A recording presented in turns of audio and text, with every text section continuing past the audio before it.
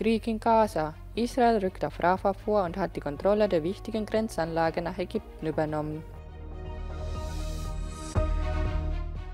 Auf seiner Europareise ist Chinas Präsident Xi Jinping in Serbien angekommen. Geplanter Mord an Zelensky. Zwei Ukrainer unter Verdacht.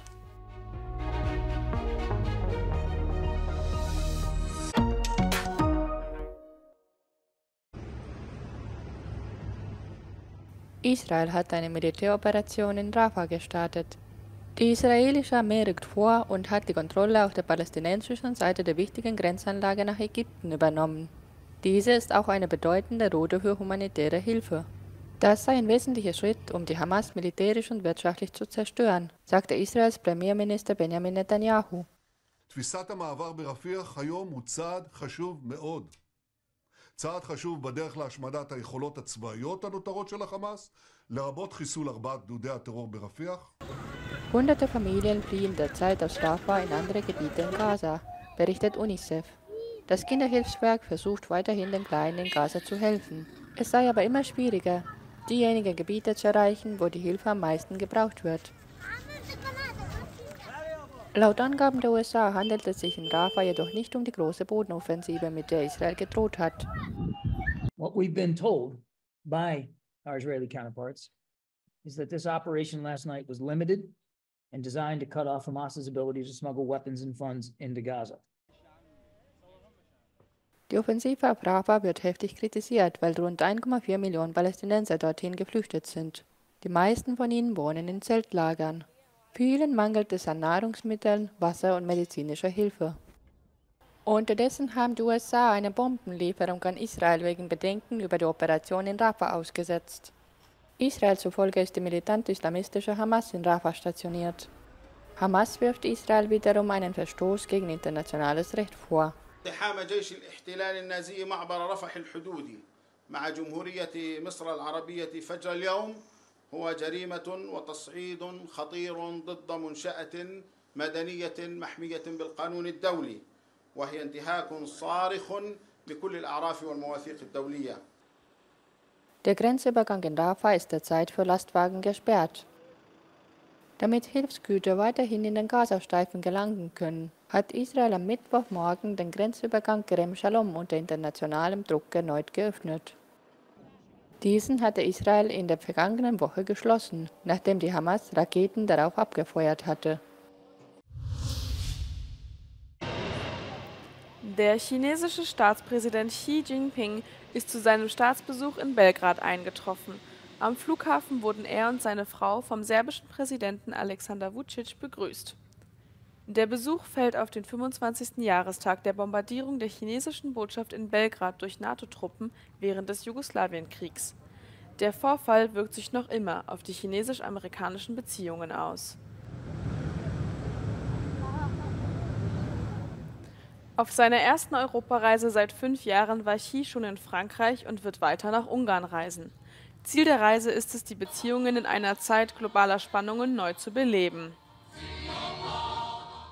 Am Belgrader Flughafen wurde Chinas Präsident von einer Ehrengarde der serbischen Armee und von traditionellen serbischen Tänzen empfangen.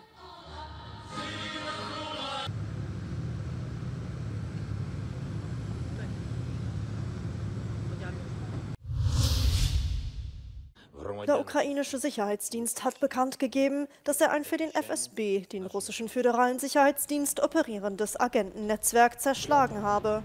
Zwei Oberste der Nationalgarde der Ukraine sollen den Mord des ukrainischen Präsidenten Volodymyr Zelensky und anderen hochrangigen militärischen und politischen Persönlichkeiten in der Ukraine geplant haben. Zelensky hat sich während des Krieges mit Russland als ernstzunehmender Gegner entpuppt.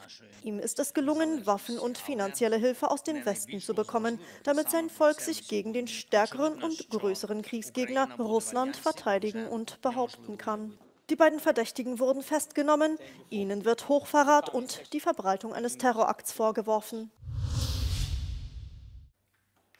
Laut einer exklusiven Euronews-Umfrage zur Europawahl hat die rechtspopulistische Partei AfD gute Chancen, auf dem zweiten Platz zu landen. Sozialdemokraten aus Deutschland und Europa erklärten bei einem Demokratiekongress in Berlin, dass eine Zusammenarbeit mit Rechtsaußen für sie ausgeschlossen sei. Ist diese klare Linie genug, um den Aufstieg der extremen Rechten in Europa zu bremsen? what threat the far right proposes to democracy and the people living in Germany. But um, of course, a lot of mistakes were made in the past by not fully acting um, upon right wing extremism, especially concerning um, the, the juridical branch. Um, a lot of crimes that have remained unpunished, and that, of course, leads to a new self consciousness of the far right because if people are not punished for their crimes, they can repeat them and they feel in a way empowered. Anfang dieses Jahres versammelten sich Hunderttausende Menschen in ganz Deutschland, um gegen die AfD und gegen Rechtsextremismus zu protestieren. Viele befürchten, dass die AfD die Verfassung und die Lehrpläne an den Schulen ändern und neue radikale Gesetze einführen könnte. Die Mehrheit ist gar nicht auf der Seite derjenigen, die die Gesellschaft spalten wollen. Aber sie nutzen aus, dass wir in Zeiten leben, die von Unsicherheit geprägt sind. Die SPD wirft EU-Kommissionspräsidentin Ursula von der Leyen ein gefährliches Taktieren vor. Die CDU-Politikerin hatte kürzlich eine Kooperation mit der rechtsgerichteten EKR-Fraktion nicht ausgeschlossen. Für die SPD undenkbar. But promising not to cooperate with far-right parties is only one piece of the puzzle. Mainstream political parties need to start listening to households who are swamped by spiralling costs, causing many to express their discontent by casting protest votes. Liv Stroud in Berlin for Euronews. So that we are going to probably cover today reactions to that. Die EU sollte ihre Migrationsabkommen mit nordafrikanischen Ländern überarbeiten, so Nicola Schmidt, EU-Kommissar für Beschäftigung und soziale Rechte und Spitzenkandidat der Sozialdemokraten bei den nächsten Europawahlen, in einem exklusiven Interview wie Euronews. Uh, we are spending now uh, huge amounts of money, giving this money to uh, different uh, regimes or governments, uh, like the Tunisian government. Uh, we know that the uh, authorities there are really treating very badly the uh, refugees. We have still the problem in Libya, where there is no real, well, there is a government, there are even two governments. We have the uh, question in Egypt. So I'm, I'm quite reluctant with this kind of uh, deals which uh, Would you admit to revise them or even to yes, them? I think we have to revise them and see what can be done. Schmidts Position steht im Gegensatz zu der seiner jetzigen Chefin, Kommissionspräsidentin Ursula von der Leyen, die darauf drängte, diese Abkommen zu unterzeichnen, stark unterstützt von namentlich der italienischen Regierung. Schmidt kritisierte auch von der Leyens Öffnung für die Zusammenarbeit mit der rechtskonservativen EKR-Fraktion und forderte, dass alle rechtsextremen Parteien von der nächsten Mehrheit ausgeschlossen werden sollten. I noticed that uh, with EPP they make some very special distinction between extreme right and extreme right, the decent extreme right and the pariah extreme right. Well, I, uh, when I look at the uh, so-called decent extreme right, who are these people?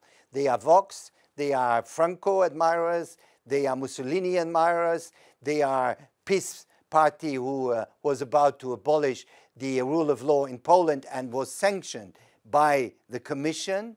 Uh, so where is the decent extreme right? There is none. There is none. And that's why there is no way to have any uh, arrangement. Das vollständige Interview mit Nicola Schmidt wird nächste Woche im Magazin Global Conversation auf Euronews ausgestrahlt.